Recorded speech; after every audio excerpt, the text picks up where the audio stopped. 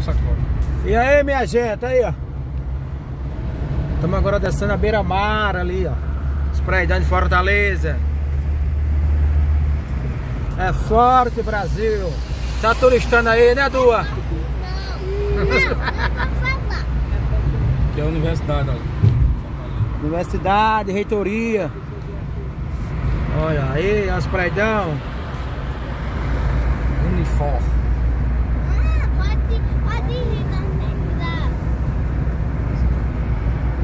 Suzuka.